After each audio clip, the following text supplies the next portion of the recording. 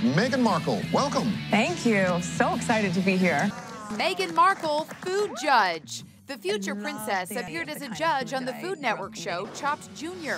The year was 2016. Growing up, your fondest memories, at least for me, are in the kitchen. Meghan was honest but nice about this youngster's dish. Unfortunately, the yogurt sauce didn't really fit with everything else that we had going on on the plate. But I will say, I really enjoyed eating your food. This dish reminded me of the kind of food that I grew up eating in California, like that real sort of farm to table, fresh, really simple ingredients. That was my goal there. Macy Boosin won. I just remember thinking, oh my god, she's really pretty. she was just like a really positive person. Like she wasn't like intimidating or scary at all. Beauty, brains, and she loves food. Looks like Prince Harry is one lucky guy.